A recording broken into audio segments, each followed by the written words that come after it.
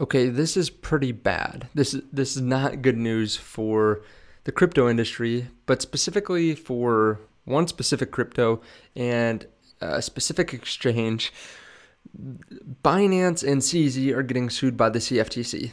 They're some of the largest holders of crypto. There are rumors now that CZ has up to 300 trading accounts.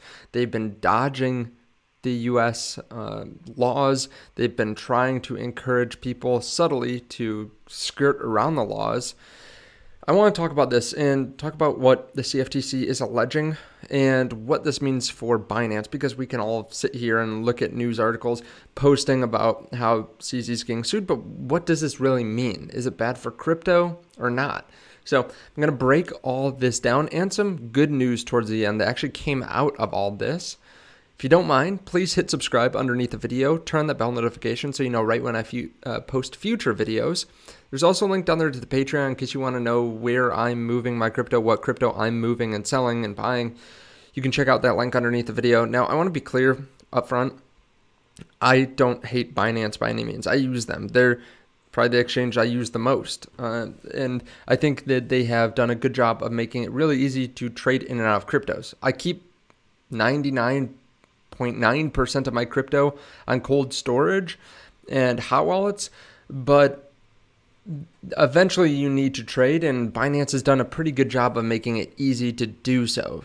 So, right off the bat, I want to say that. I'm not getting paid by anyone to say any of these things, but I, think we just need to have an honest conversation because if there's a problem with Binance, or problem at Binance, we should be honest and open and talk about it. That's what I do on this channel. I'm not sitting here trying to, uh, you know, hold up the entire uh, exchange by myself. I, I think it's more important to sound the alarm bells if there's something going wrong, or to calm people down than to just you know say that everything's fine and not really go through what happened and what is happening now.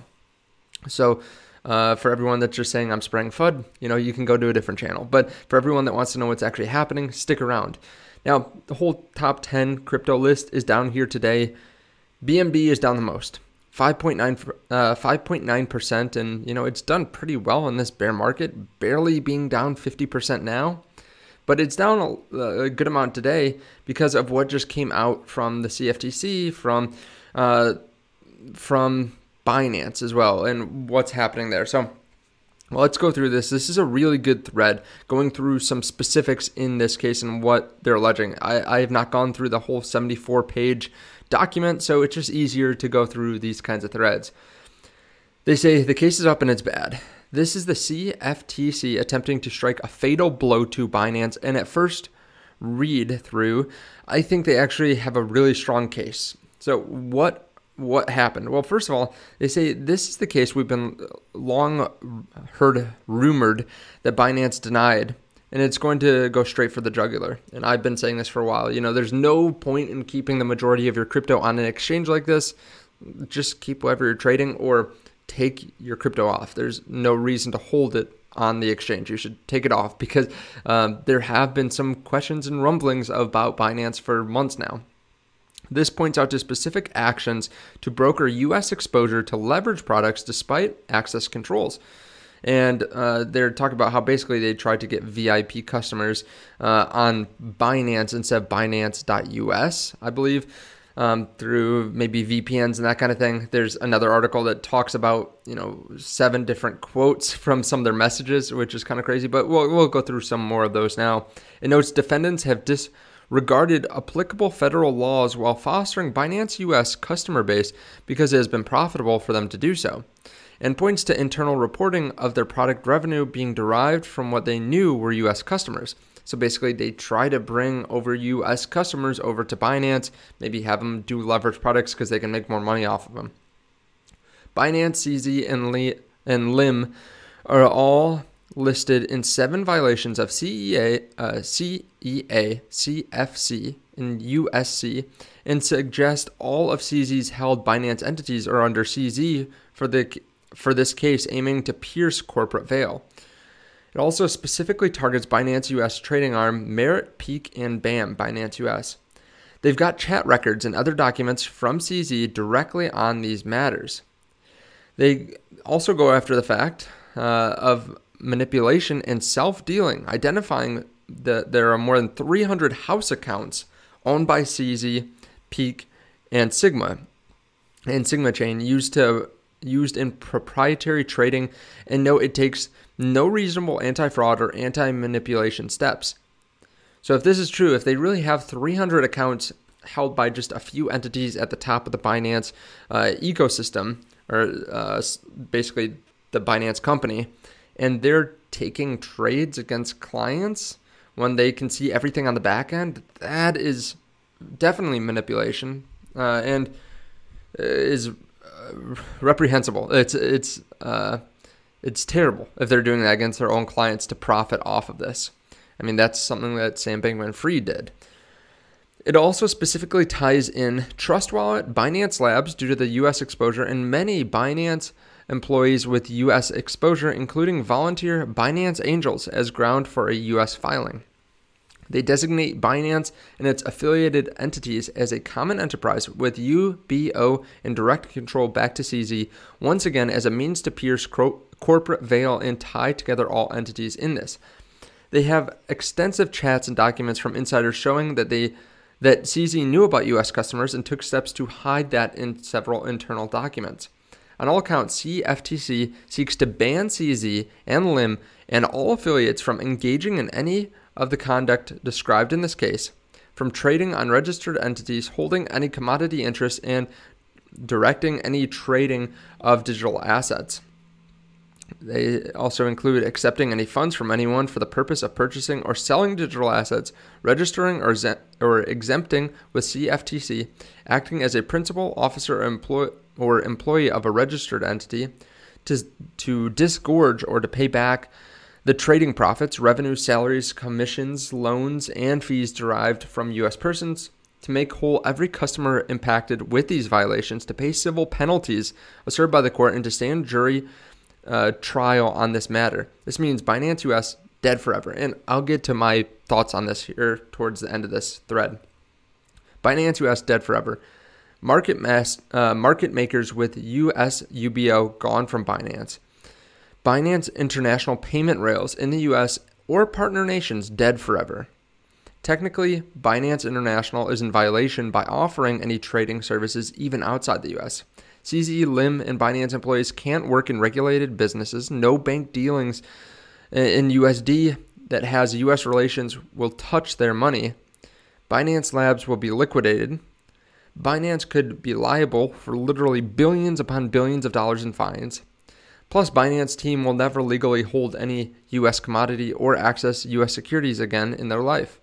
Now, that all assumes that the, fi- the trial actually finds them guilty and applies the CFTC requests, but it would sure it would for sure kill off Binance with those made whole and disgorgement clauses. If CZ, Lim, and Binance fail to engage with US courts and failed to defend themselves in a trial, it's likely the CFTC would just win, flat out and some criminal contempt obstruction charges would also be added.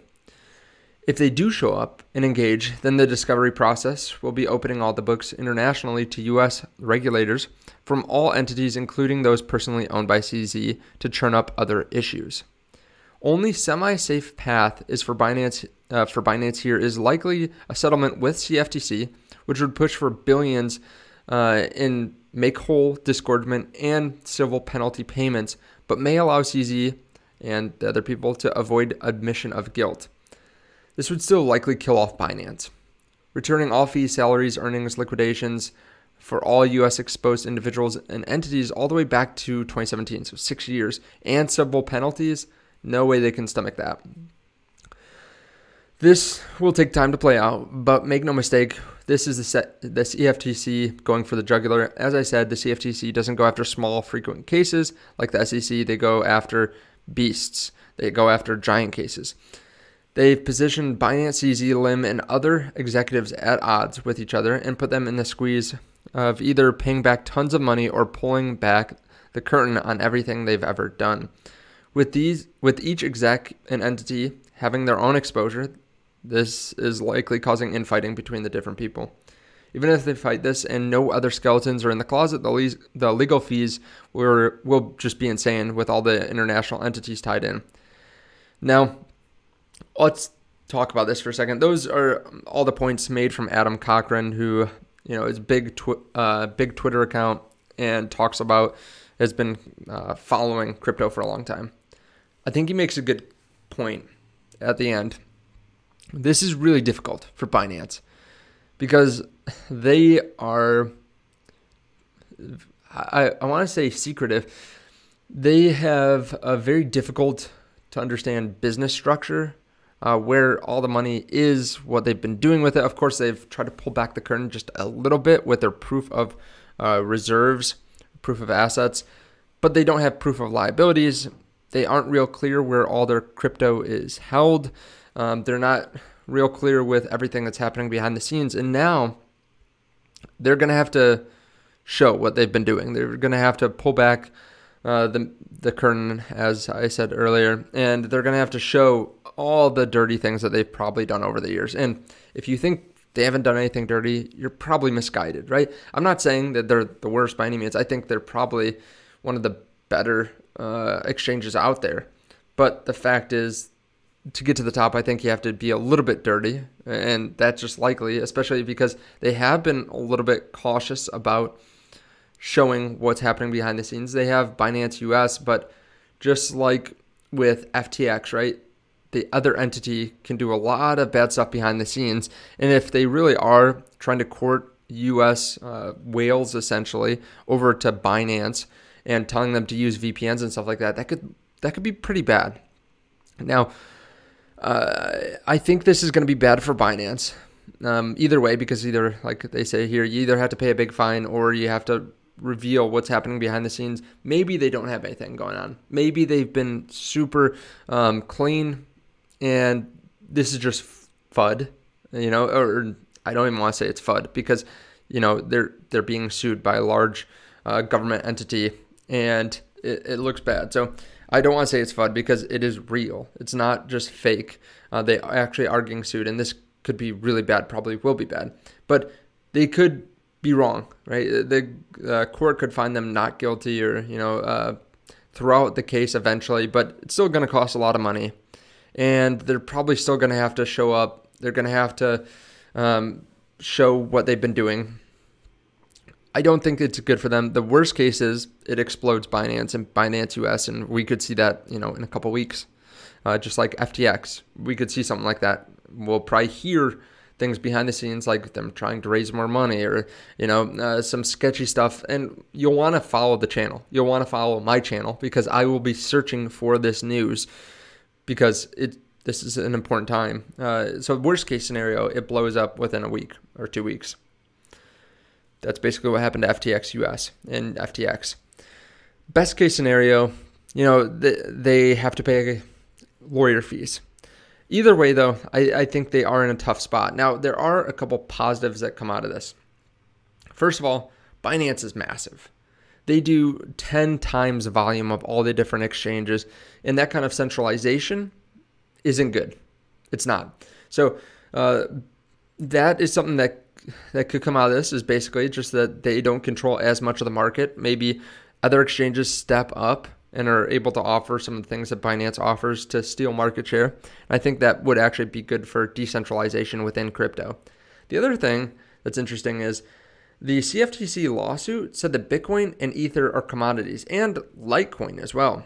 They basically call uh, these digital assets commodities after talking about how CZ and Lim uh, solicited and accepted orders accepted property to margin and operated a facility for trading these commodities.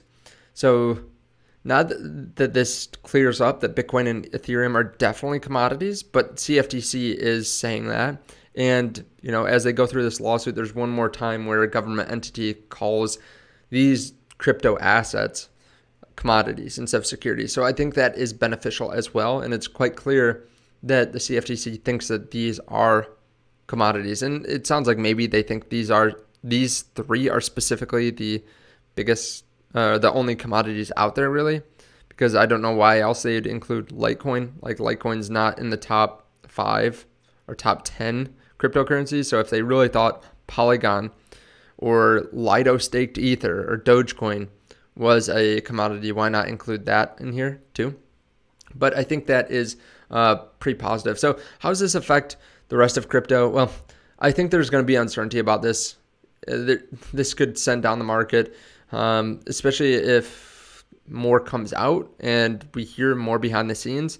This could send Bitcoin back down, especially if you know Binance starts selling off some of maybe their own crypto that they've been holding to get some more cash for some of these fees. You know that could cause a pretty big drop in the market. Now, if we fall back down, let's say let's go back out here to the one week we've had a crazy last two weeks. Like, look at this, right? We just popped up from from seventeen thousand up to twenty three thousand, and then up to 27, 28,000. Just boom, boom.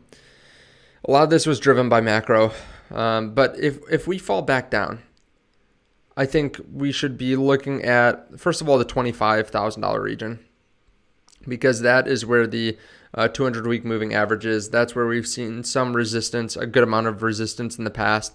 So look for that. If we break through 26,000, look for 25,300 or so. If we bounce off that, a lot of people I think will actually take that as bullish, especially if um, we get some good news on the Binance side.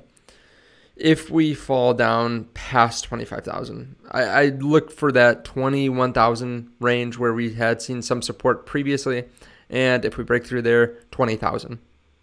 After that, we're looking at 17, 18,000 and then back down to the lows, 15,500. I don't think it's likely we go that down that far.